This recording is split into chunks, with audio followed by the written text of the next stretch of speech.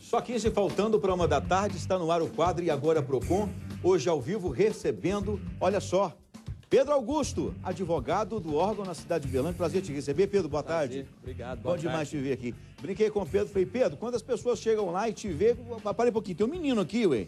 Pedro novinho desse jeito, mas é de uma competência fantástica. Quer ver só?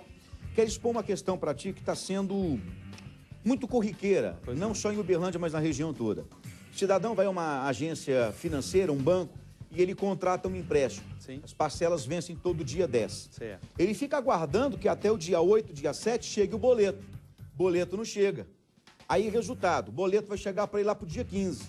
Já com Aí ele atraso. paga com atraso. Na próxima vem o juro. A culpa não é do cidadão, a culpa é do banco que não está mandando a contento. Sim. E agora? Bom, Pimenta, nesse caso a gente recomenda que o consumidor, é, verificando que há um atraso na entrega do boleto, cerca de cinco dias úteis aí antes do vencimento, porque ele já sabe a data que vão vencer as parcelas, ele procure o órgão de defesa do consumidor, o PROCON no caso, para pedir é, a- o fornecimento desse boleto ou também é, diretamente é, através do saque do fornecedor, da instituição financeira, se ele verificar que realmente há o risco de, de ocorrer esse atraso.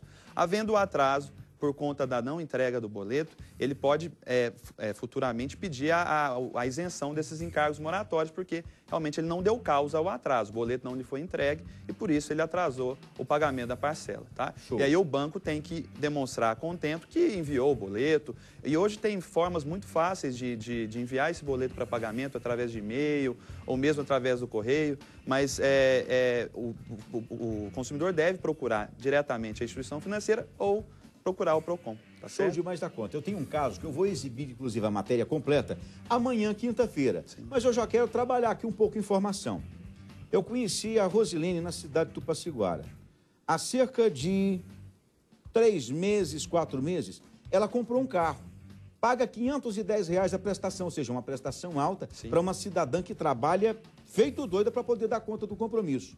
60 dias depois, por conta de um defeito que já veio no carro, que era a bomba d'água, a bomba de óleo, o carro fundiu o motor. A garagem que vendeu o carro para ela é obrigada a, a dar outro veículo ou pagar o conserto do mesmo? Sim, olha, nesse caso, se, tratando de produto, é um vício do produto. Aparentemente é um vício do produto. Há um prazo de garantia que ela tem para reclamar dos vícios. É o prazo do artigo 26 do Código de Defesa do Consumidor. É o que o pessoal fala do- da garantia legal de três meses. Então, Correto. ela teria 90 dias e até no contrato, geralmente os, os garageiros, eles colocam a garantia de motor e câmbio Sim. e dão esse prazo de 90 dias para que o consumidor faça a reclamação é, de eventuais vícios, no caso aí da, bom, da bomba d'água que aca- acabou Bomba ocasionando... de óleo. Bomba de óleo, aliás, que acabou ocasionando problema no motor. Ele tem sim um prazo para sanar esse vício, tá? A, a, a, a troca imediata ou a restituição do valor, ela, ela não é automática. Então, ele tem um prazo, o fornecedor teria um prazo aí que pode ser de 7 a 180 dias, mas no Código de Defesa do Consumidor, geralmente, eh, tem um prazo supletivo, geralmente são 30 dias que o Certo. fornecedor pede. Correto. Não sanado o vício, não resolvido o problema nesse prazo, aí sim ela faz jus ou à substituição do veículo, é, por um outro de mesma espécie em perfeitas condições de uso, ou a, a restituição do valor pago pelo produto, tá certo? Perfeitamente, É perfeitamente. Temos uma participação ao vivo. Alô, boa tarde. Boa tarde. Falamos com quem? É o Fernando aqui de Piotaba. Ô, Fernando, brigadão pela tua participação ao vivo no Linha Dura. Qual que é a bronca? Conta aqui pro doutor Pedro. Doutor Pedro, é, há sete anos e meio eu não moro mais em uma residência e o meu nome está no SPC por conta da, da conta da energia da cidade, da CEMIG. Sim. E aí eu procurei o órgão para estar tirando o meu nome e eles orientaram que não tem como, tem, que- eu tenho que pagar. Sete anos e meio eu não moro na casa. Procurei também um, um pessoal aqui, advogado, falou que aqui em Jutaba não, é, não tem costume do juiz dar ganho de causa não, contra a instituição, não. Que ninguém consegue é, fazer tirar essa, da CEMIG, não. É, como A é que eu gente tem muitas essas denúncias, viu, doutor Pedro? Olha, nesse caso, é, os- há uma regulação, a regulamentação do cadastro de inadimplentes, né, do cadastro de das informações do consumidor, a partir do artigo 43 do Código de Defesa do Consumidor. E lá, é, no parágrafo 1 salvo engano, há uma disposição no seguinte sentido.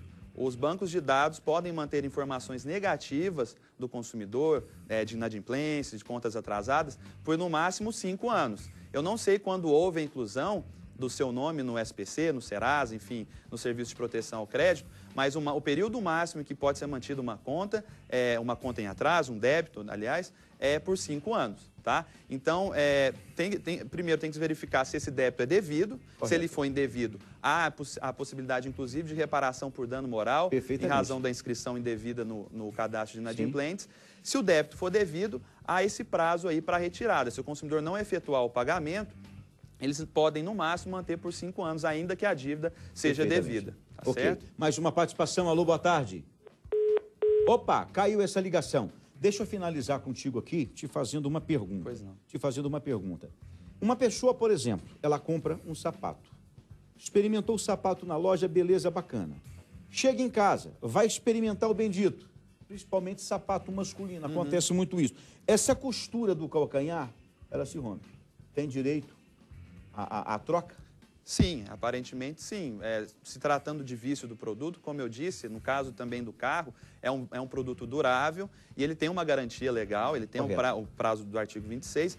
Se, o, se a costura se romper e é, não for possível o, o sanar aquele vício é, através é, de uma nova costura, enfim, o consumidor pode exigir a, a, restituição do valor ou a substituição do sapato. Tá? Perfeitamente. Tá? Para finalizar completamente a tua participação comigo hoje, o cidadão ele está mais consciente dos seus direitos. Sim, isso é bom, né? Isso é, tá, é, é, é Pimenta. Hoje eu, eu falo muito é, que é, o exercício da cidadania passa pela, pela é, reclamação pelos Correto. seus direitos, pela Sim. busca pelos seus direitos.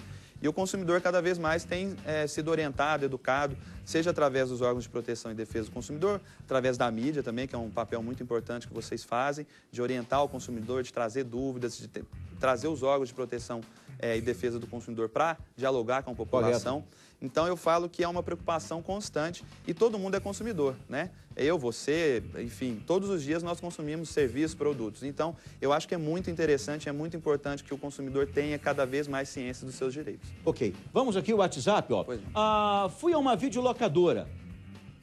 Fui a uma videolocadora, locar dois filmes. Primeiro, o primeiro funcionou perfeitamente, o segundo filme não rodou. O disco é, não efetuou a leitura. Então retornei à locadora e o funcionário me disse que não iria me restituir o valor ou dar outra locação, porque este filme nunca tinha sido reclamado por ninguém. E eu acabei pagando a locação mesmo sem assistir o filme. O que eu poderia fazer? É o Flávio de Uberlândia. Olha, Flávio, nesse caso, aparentemente se trata de vício do serviço, porque embora haja um produto, que seja o DVD ou, ou Blu-ray, não sei, é, no caso, é um serviço de locação de, de, de filmes, enfim.